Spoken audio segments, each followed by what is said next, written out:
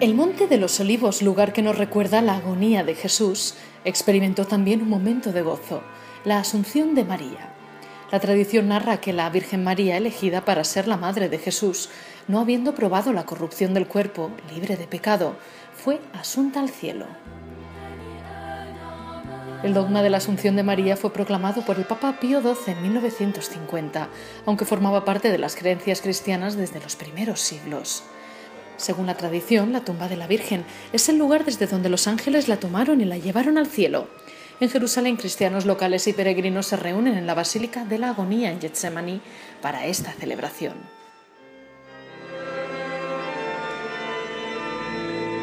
Una vivencia muy especial el poder estar aquí en este día y en este lugar, eh, pues viviendo o recordando y actualizando lo que sucedió en la, en la Asunción de Nuestra Señora a los cielos. Tenemos una especial devoción a la Virgen y, y la posibilidad de estar aquí, de celebrar en los santos lugares esta fiesta, pues siempre es un motivo de alegría. Una celebración eucarística presidida por el custodio de Tierra Santa, el padre Pier Battista Pizzavala.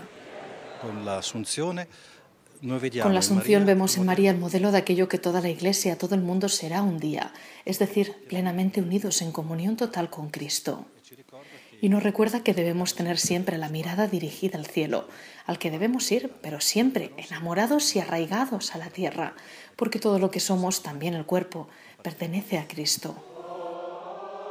Otro momento solemne fue la visita a la tumba de la Virgen. En este lugar santo los católicos han rezado y visitado la piedra donde, según la tradición, fue colocado el cuerpo de la Virgen.